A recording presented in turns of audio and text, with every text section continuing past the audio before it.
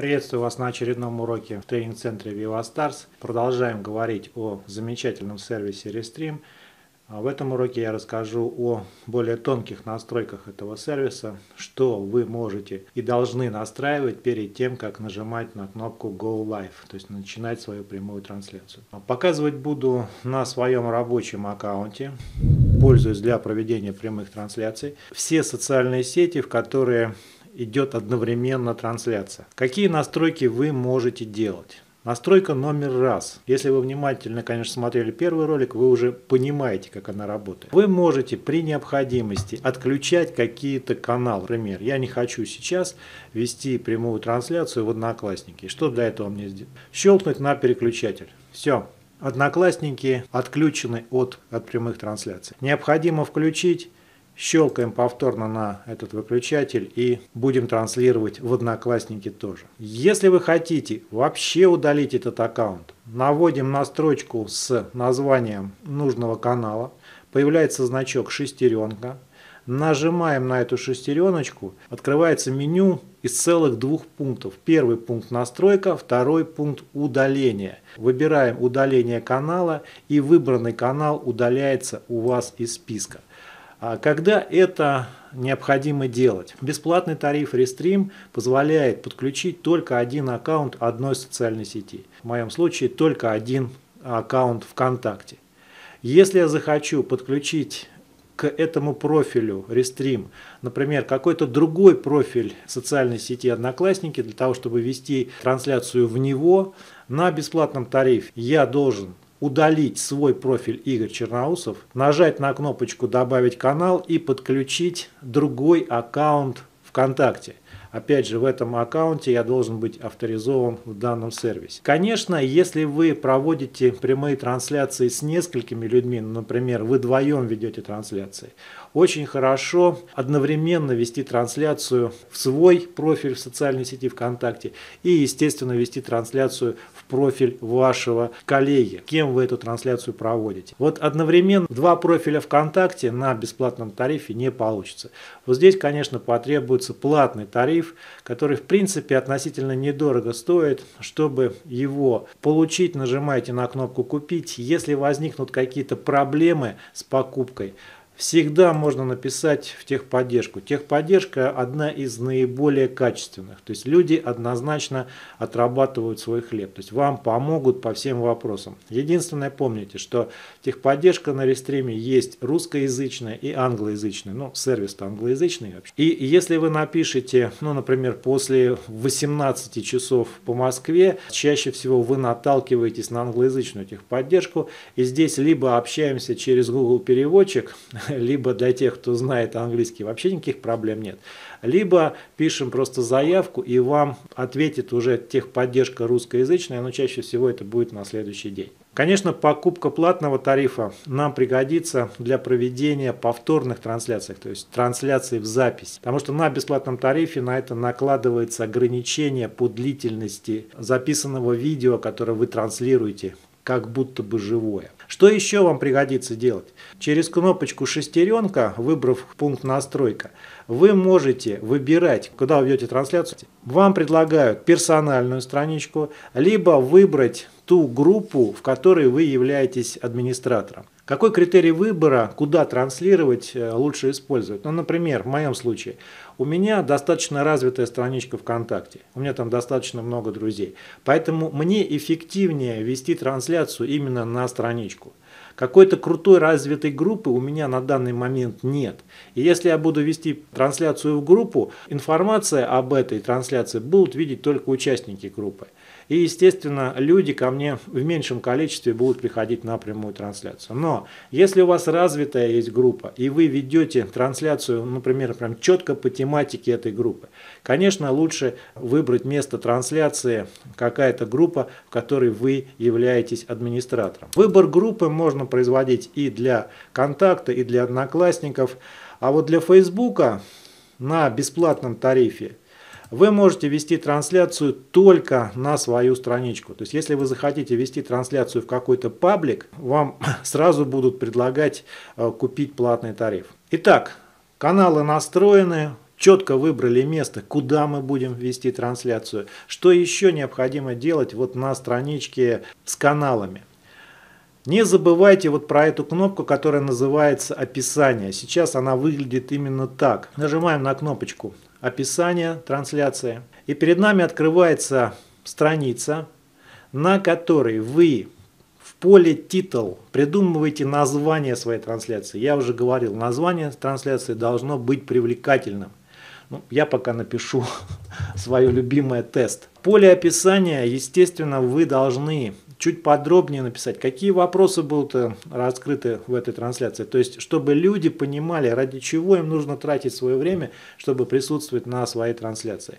Более подробно опишите, о чем ваша трансляция. Так как все-таки сервисом Restream а, в первую очередь и в большинстве своем пользуются люди, которые транслируют игрушки, поэтому и большинство платформ связано именно с трансляцией или стримингом игр. Включив эту кнопку, вы можете выбрать игру, которую будете стримить. Это дополнительная информация для любителей этой игры. Но ну, для нас это не актуально. Когда вы заполните поля название и описание, не забывайте нажимать вот на эту кнопку «Обновить». То есть, чтобы во всех ваших каналах произошло обновление названия и описания вашей трансляции. Я вот довольно часто забываю это делать, и у меня трансляция идет с названием последний. Пожалуйста, вот с описанием не забывайте. И еще есть одна очень полезная вещь, это социальное оповещение. Конечно, о вашей трансляции оповещает сама социальная сеть, в которой вы ведете трансляцию. Но вы можете это сделать еще и дополнительно от себя. Рестрим позволяет сделать оповещение в три места. Это в Twitter, очень хорошая социальная сеть, к сожалению, почему-то у нас в России она не так развита. Для того, чтобы сделать оповещение в Twitter, вам необходимо также быть авторизованным в Twitter в данном браузере и подключить, то есть нажать на кнопочку «Подключить», вот у меня Twitter подключен. Также можно подключить свой Facebook аккаунт, вот он у меня был подключен, сейчас отключился и нужно переподключить. Если вы пользуетесь таким мессенджером, как Discord, это более продвинутый аналог Skype, скажем так, но в первую очередь им пользуются пользуются геймеры, то вы можете еще сделать дополнительную рассылку по Дискорду. Чтобы сделать оповещение в тексте сообщения, пишите «Приглашаю вас, тыдыч-тыдыч, в такое-то время». Чаще всего оповещение делается за час, за полчаса. Можете делать несколько оповещений, если хотите. Нажимаем на кнопочку «Обновить» и эти сообщения отправляются в ваши социальные сети, профили. Очень хороший инструмент, тоже можно им пользоваться, но опять же не злоупотребляйте, то есть люди устали от всякой рекламы. Все нужно делать в разумных пределах.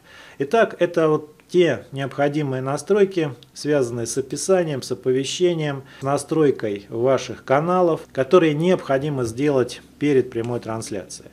Когда все готово, переходим в Live-студию. В настройках еще можно менять микрофон, можете открыть список и правильно выбрать тот микрофон. По поводу понятных кнопок повторяться не буду. Отключить микрофон, отключить э, камеру. Это можно делать во время трансляции.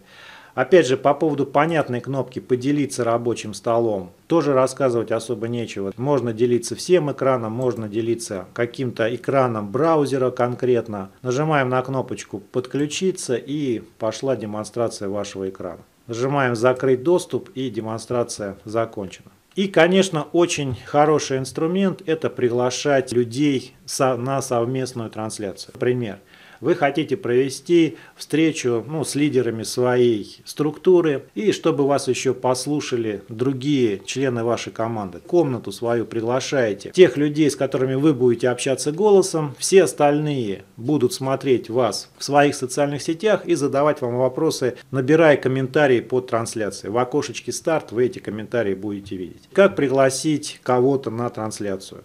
Нажимаем на кнопочку «Пригласить». Копируем вот эту ссылку на приглашение. И, например, эту ссылку отправляем в личном сообщении человеку, которого вы приглашаете. Ну, я, например, взял ее, кинул в наш чат. Вот так вот. Что делает человек, который получает эту ссылку? Я вам сейчас это покажу. Так, я подключаюсь к своему другому компьютеру. Я открываю наш чат, куда я скидывал ссылку. Приглашенный человек просто кликает по данной ссылке, ссылка открывается в браузере, который у него установлен по умолчанию. Требуется какое-то время, чтобы Restream получил доступ к вашей веб-камере. Вот сейчас идет запрос, видите, кружочек тут крутится, загрузка. То есть сейчас Restream пытается обратиться к веб-камере на этом компьютере. То есть нужно просто посидеть, подождать. Доступ практически получен.